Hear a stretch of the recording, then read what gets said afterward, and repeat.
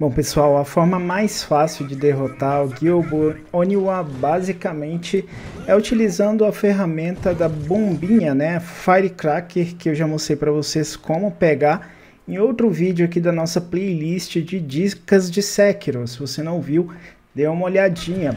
Mas eu tentei fazer ele também sem pegar as bombinhas, já que muita gente às vezes pode encontrar com ele sem ter encontrado ainda as bombinhas, já que elas ficam meio escondidas para comprar, né?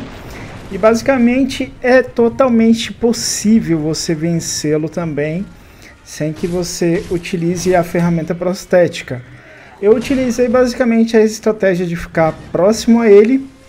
Você vai sempre apertando a, defesa do lado esquerdo, né? O L ou o L1, depende do controle que você está usando vai tentando pegar o time dos ataques dele, mas sempre mantendo a defesa erguida, com a arma ali posicionada e, à medida do possível, tentando calcular o time dos golpes dele para pegando parry e aumentando ali a barra de forma que se você continuar mantendo esse ritmo, sempre fazendo os parries, vai ficando vermelho.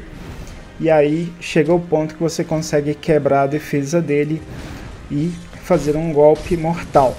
Basicamente, a estratégia que eu utilizei foi essa. Eu acho que eu morri umas 3, 4 vezes até conseguir fazer certinho, mas foi totalmente possível.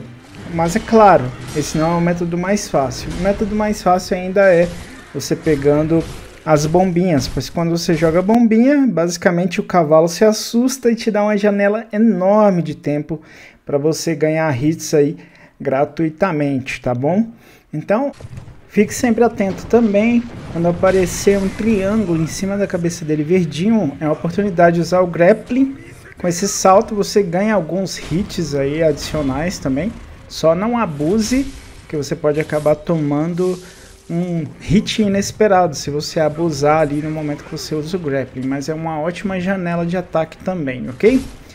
Esse foi o vídeo de dicas, eu vou deixar a batalha aí completinha para vocês. Não deixe também de deixar a sua avaliação se essa playlist de dicas está te ajudando. Se puder deixar aí um comentário também, eu agradeço demais. Caso você queira conferir os meus demais canais no YouTube, tem um link aí na descrição, que é o Linktree, com os links certinhos e eu deixo aí outras recomendações para você, então não deixe de conferir a descrição.